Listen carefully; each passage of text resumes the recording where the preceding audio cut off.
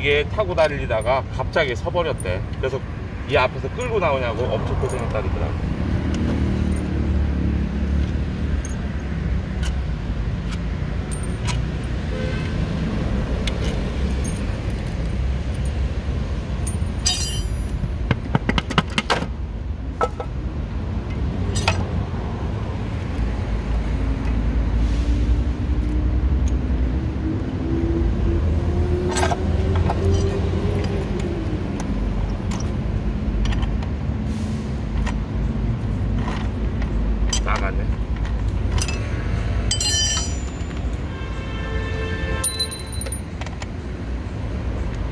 Chill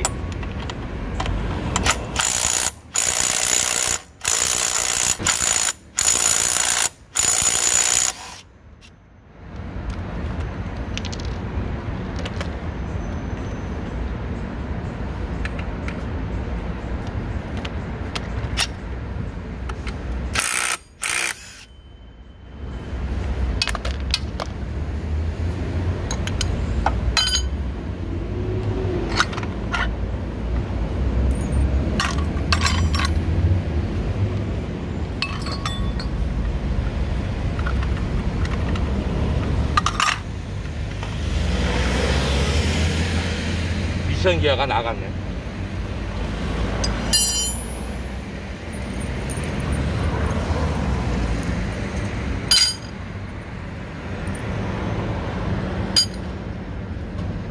차에다 실어 가야지 이제.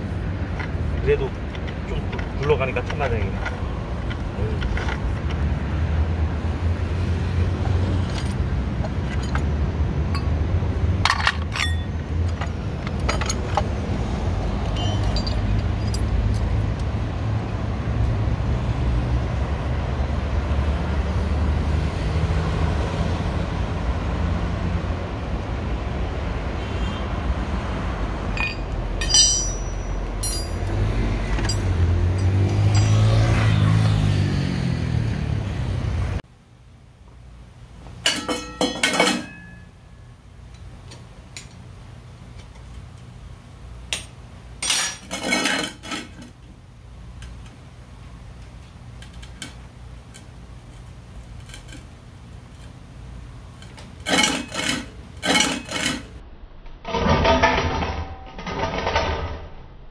아이 미션 오 일이 없다. 안 나온다. 아예